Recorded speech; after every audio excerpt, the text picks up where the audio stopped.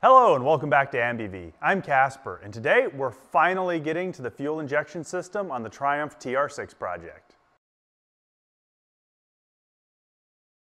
For those of you who have been following the channel and asking me about this video, it's finally here. Now what the problem is, is I recorded the whole project as I did it on the TR6, and then I immediately went on with my other projects, working on my book and tearing apart the shop to clean it up, and realized that the last half of the video I recorded was lost. I don't know if the GoPro ate it or what happened to it, but I finally got back out here, got the car back in the shop, and I can go ahead and wrap this video up.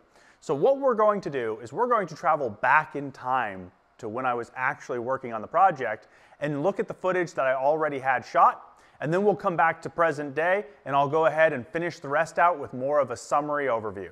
So let's go talk to me in the past. Now, this is the Patton's retrofit kit. It's also sold as the affordable EFI kit. It is essentially a throttle body retrofit that turns your carburetors into throttle body fuel injection with a relatively minimal number of complications. Now on the right, we have a throttle body fuel injection system. On the left, we have the carburetor still left behind. All that was required in order to convert this to a throttle body fuel injector was the removal of the top hat and the plunger and the needle, and the addition of an aluminum adapter and a fuel injector. There are top hats for the kit as well, but those are off currently at powder coat. And as soon as they're back, you'll see them probably at the end of the video, finally installed. They should add a nice little accent color to under the hood. The installation of this part of the kit is super easy. Four screws, drop it in, four longer screws, you're done. The more complicated part is deciding on your wiring route to make sure that you don't run into any heat sources Adding in the fuel system, because now with a fuel injection system, we are going to have an electric fuel pump serving a lot higher fuel pressure, and we're going to need a fuel pressure regulator holding back the right amount of fuel pressure for these fuel injectors, and a return fuel line to the fuel tank. We're also going to need an assortment of sensors ranging from a throttle position sensor, determining how open the throttle bodies are, to a temperature sensor, determining how the coolant temperature is currently set to adjust for what would be your choke. We also need the O2 sensor, metering the exhaust gases and deciding if the engine is running too rich or too lean. And we'll have a few others like map sensors and things like that to assist with load determination and probably an idle air control valve in the system to allow it to regulate the idle up or down based on the computer programming. Now, the biggest hassles in the installation of this kit will definitely be the running of the wiring and the running and plumbing of the fuel system. There's a few things that will be very different in my installation than your installation if you do this at home. I am going to be doing a PMU16 to control all the power. So I'm doing a lot of rewiring of the engine bay. I'm deleting the factory fuse block and I'm going to be cutting the wiring harness for the fuel system and replacing it with a Autosport connector to go through the firewall rather than a large hole in a grommet and just shoving the wiring harness through. So a lot of that will be different and it will be in this video.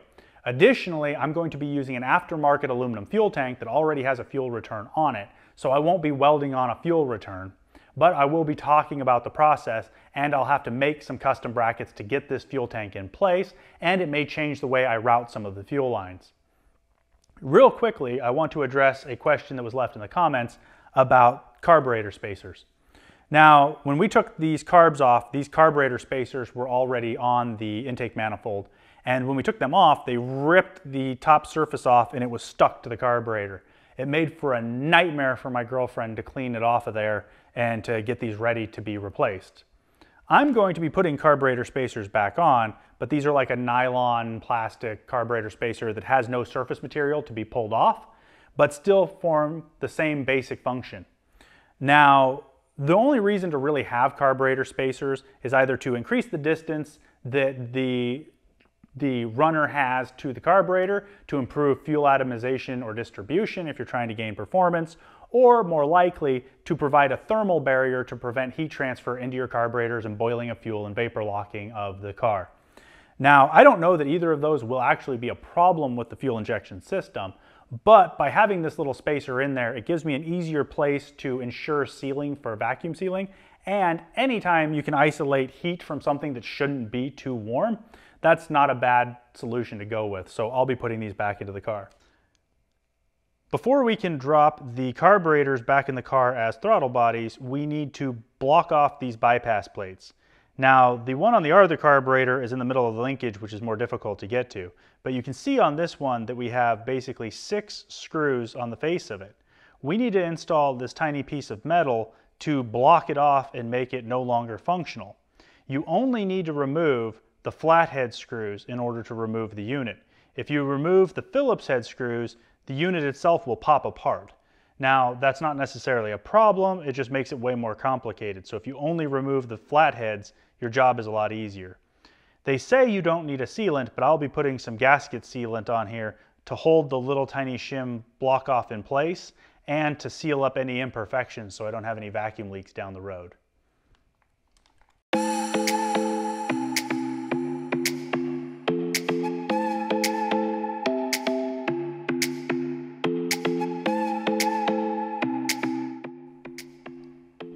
This is the gasket.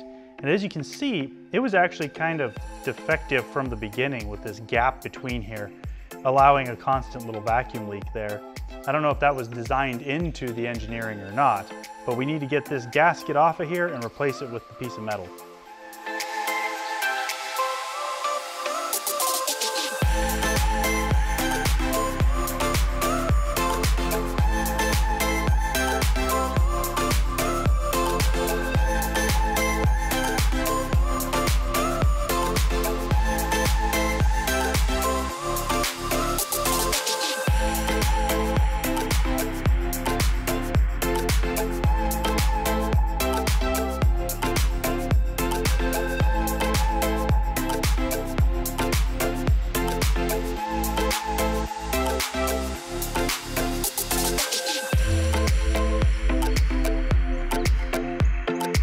Now let's do it to the other one and get this back in the car.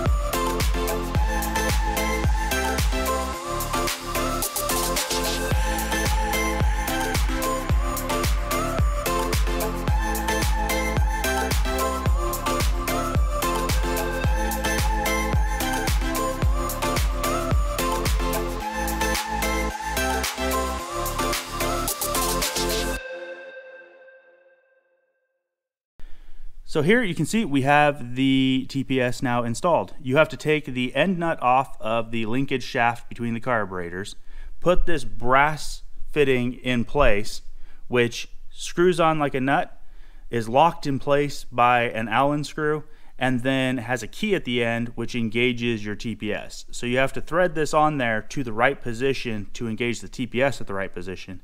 And you may need to bend the supplied bracket to get everything aligned just right.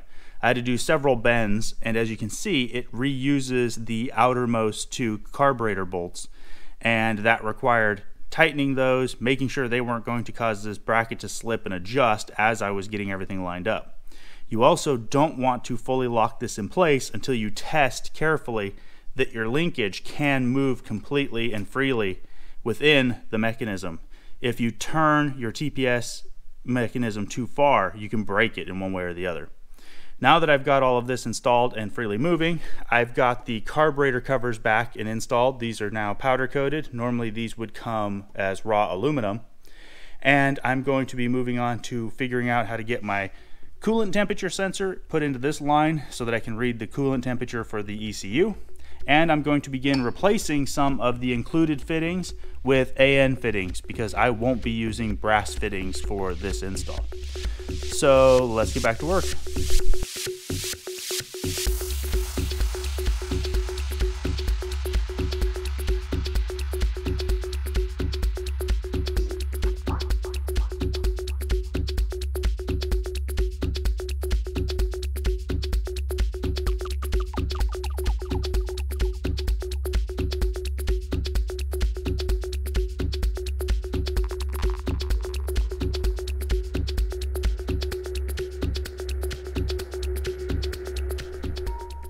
See the solution I came up with for the coolant temperature sensor right here.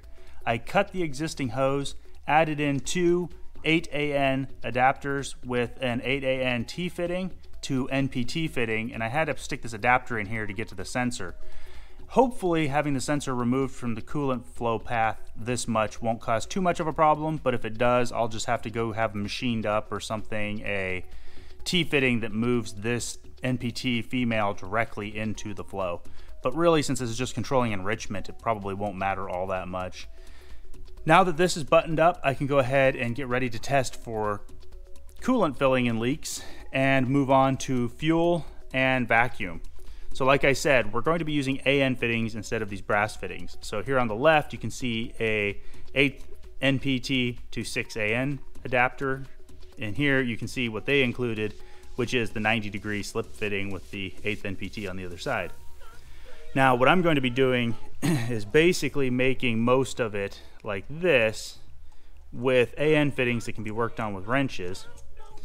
And we will basically be assembling a fuel rail out here that will come up from the pump, loop around, and go right back to the fuel pressure regulator before diving of the car. And it'll all be black AN fittings. I gave him the option of leaving off these crimp bands just because they don't look as aesthetically pleasing, but they will help with longevity, and he'd prefer to go that route. Because even though the hose fits tight enough not to leak initially, as it ages, that's usually where leaks will form. Is as the hose dries out and widens out, it'll start to slip off, leak a little bit, and usually burn cars to the ground. And since we're probably not going to come back and rework this car for years, might as well give it the best longevity we can. So I'm to go ahead and dive into working on the fuel system and starting to figure out some of the vacuum system. Now that we have the front end of the car mostly wrapped up enough to start mocking things up, I need to know exactly what the fuel lines are going to look like. In order to do that, I ripped out the old fuel lines, dumped all those rusty pieces to the side, but now we need to get the fuel tank in place so I can measure and cut new fuel lines. Now this is the new fuel tank that will be going in the TR6. This is all aluminum, custom fabricated specifically for this application. And while it has all of the same basic features as the factory TR6 tank, it has the fuel filler in the same location, the vent line, and the level sender port it also has the addition of a EFI fuel return line and two supply points. Now on the factory tank, there's a single supply hookup on the driver's side, which could lead to starvation issues and cornering if all the fuel was sloshed to the passenger side. In this case, I will be using both ports wide together to the fuel pump so that it should never have a starvation issue that will also help gravity feed the fuel pump enough that it should ease the strain on it and keep it from burning itself out since it is an inline fuel pump. Now, in order to get this in the car, I'm going to have to make some brackets and drill some brackets. There are tabs welded to the sides, top and bottom. However, I must use some spacers to build extensions on the top to bring the tank up to where it needs to be to meet the body mounting points. And I need to drill the sides and the bottom to locate to the current factory mounting points. This is gonna take some finagling, so it's not gonna be particularly interesting time lapse, but hopefully we can sort of skip to it being complete. So let's go ahead and start getting this put together.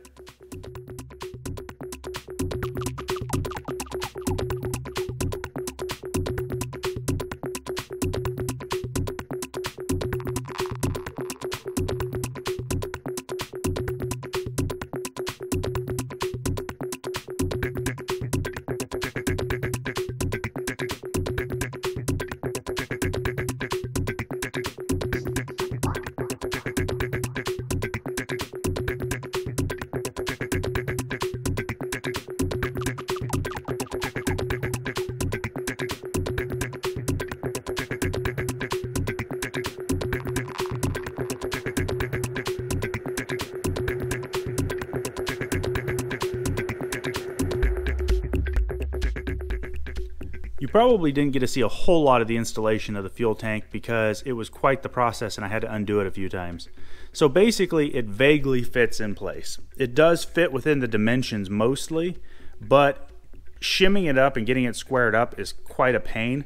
And really I would have preferred someone just take like maybe half an inch of depth out of it and then give us a better mounting mechanism.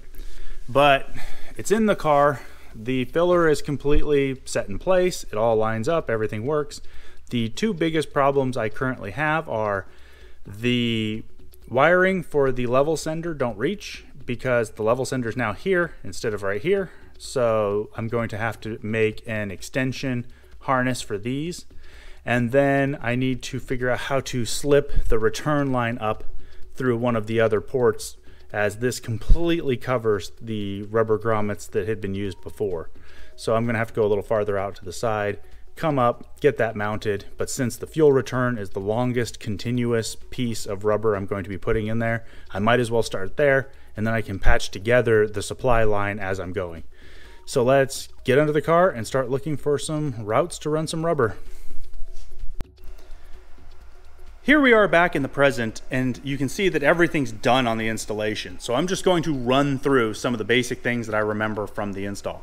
Now, once I wrapped up everything on that side of the engine, I went ahead and finished the fuel system. We put the fuel tank in the back. We went ahead and ran the lines up here, put the fuel pump down below, wide the two feeds together, put the fuel filter in there. So there's a fuel filter immediately after the fuel tank, and then gravity down to the fuel pump, and then a small filter after that all the way up here before this essentially makeshift fuel rail where it loops through, feeds both throttle body unit, does an aggressive U-turn, comes back to the fuel pressure regulator, and then returns back to the fuel tank.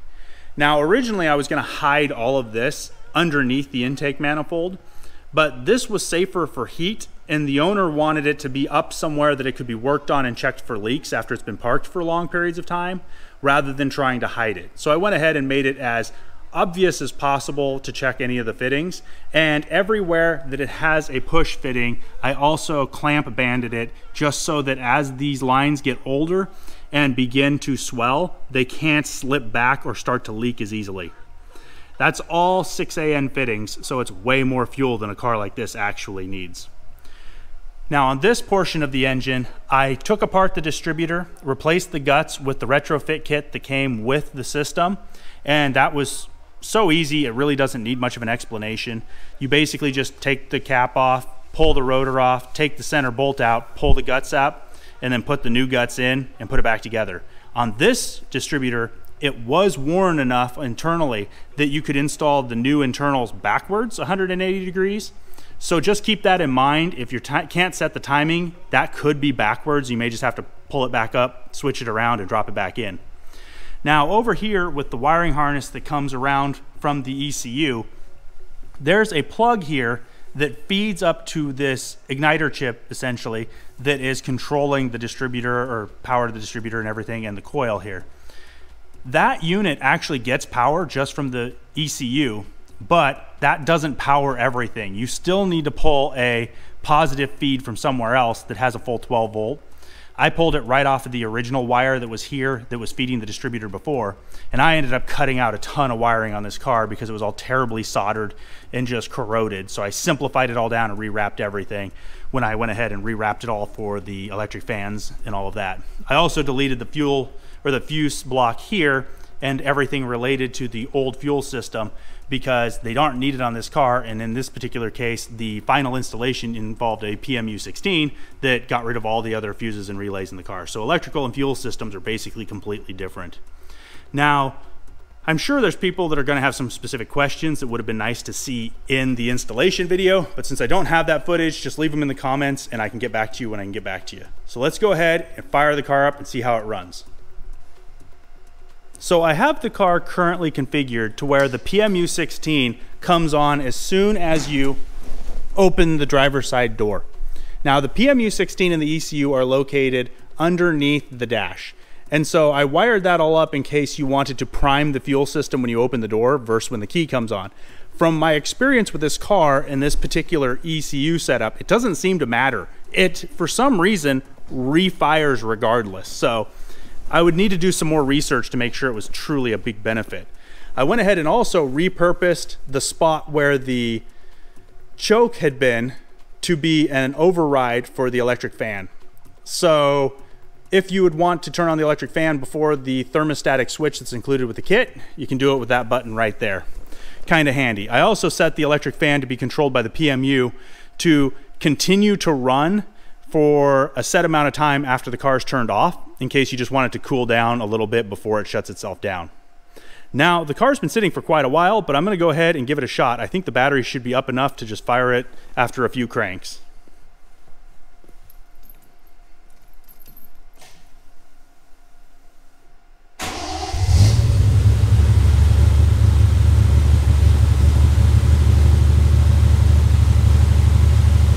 Now, as you can see, the car is uh, really cold, so it's idling high, but it fired right up. It's been sitting for quite a few months on and off. I think I've come out here and fired it once or twice just to make sure that the oil moved around and the battery wasn't totally dead.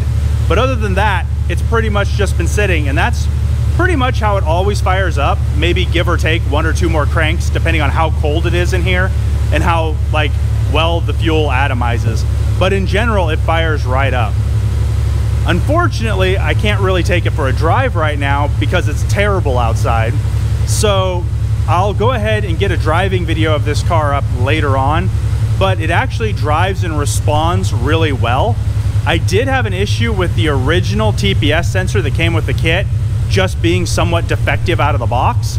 So if you have that problem again, it may be an ongoing problem, but really it was a generic GM sensor, so I think it was just bad luck. And it was only like 15 bucks or something to get a new one. Now, this car does respond pretty good. But obviously being cold, I'm not gonna rev the heck out of it. The overall installation was pretty straightforward, and a lot of it's custom to the way I would install it because I cut the wiring harness redid the whole wiring harness so that it could come down here to the ECU and PMU16 that's under the dash so that that could do all the work. And I still have the wiring for the stereo laying here because it's horribly butchered and generally needs to be replaced, but nobody's really made a decision on what's happening with the stereo, so it's just laying there for right now. While I was at it, I did a few other things in here, but most of it probably doesn't apply to your car, like making sure this actually has a shift knob that doesn't just spin freely on top of here and things like that. So rather than just sit here and asphyxiate myself, I'm gonna go ahead and shut it down. There you have it. The much requested Triumph TR6 fuel injection conversion project is complete. So I'm sorry again for having lost that video. I'm just gonna blame the GoPro because I can't actually remember which camera it was that ate my homework, but that's the one that's gonna get the blame. If you have any questions about this project, please leave them in the comments down below. And as always, I'll see you in the next video.